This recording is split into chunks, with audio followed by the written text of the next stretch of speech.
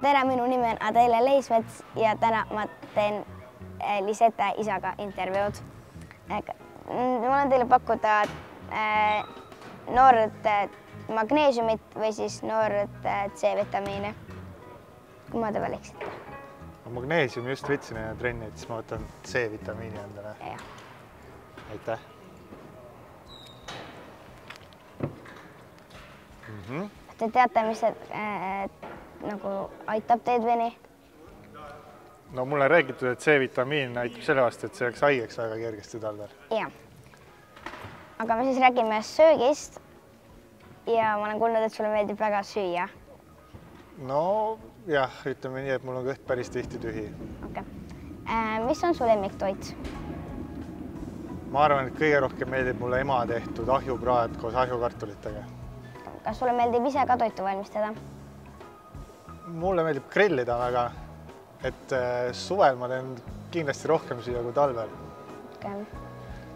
aga kas su perele maitseb su toit? no üldiselt süüakse ära, mis ma olen teinud, ma arvan, et maitseb.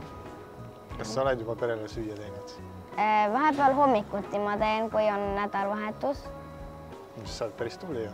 jah, aga ma oskan ainult teha muna ja kartuleid.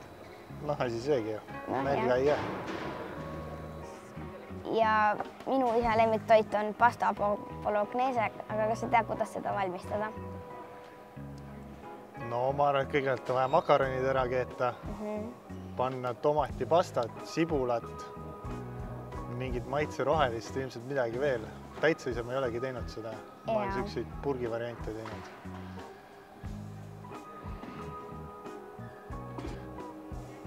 Kas, kas sa vaatad jalgpalli? ma olen päris palju trennides olnud, aga mõnda mängu ma olen näinud küll, kui sa MM-ist räägid. mm. -hmm. ja aga kumb sulle rohkem meeldib, kas Messi või Ronaldo? ma arvan, et pigem Ronaldo, aga miks ta sulle just rohkem meeldib? sest ta on pikem. okei, Messi on nii lühike, siis ta on imelik minu arust. okei, aga aitäh teile intervjuu eest. Palun. Hyvää päivää sinulle. Hyvää päivää.